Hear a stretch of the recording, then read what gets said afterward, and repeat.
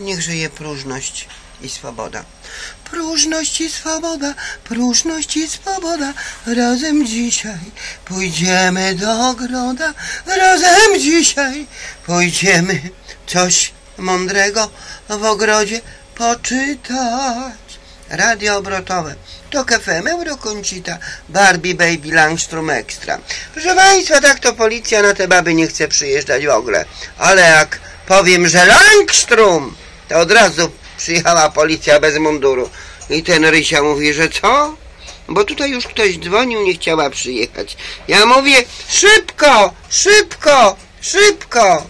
No i właśnie oni się pytają, kto dzwoni, kto? No, że Langstrom i szybko, szybko.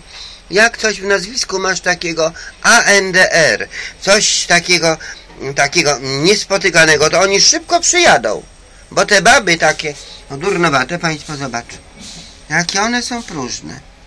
Już mądrzejszy jest Wałęsa, dlatego, że jest po, po podstawówce.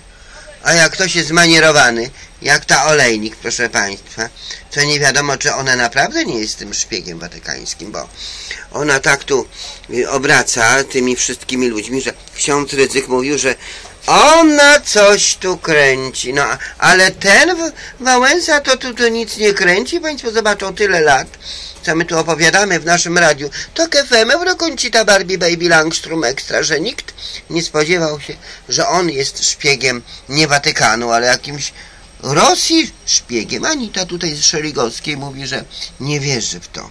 Nie wierzy w to, że Wałęsa jakimś bolkiem był.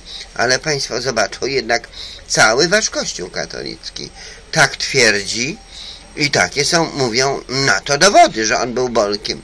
No, podpisy, któreś muszą być prawdziwe, przecież wiadomo, że można sobie sporo tych podpisów odrzucić. Państwo zobaczą. Oj, jak to się wyzwolić od tej komuszycy? Nie, nie ma jak. Nie ma jak. Jest to pajęczyc. Pajęczyc. Pajęczyca tłustych bab.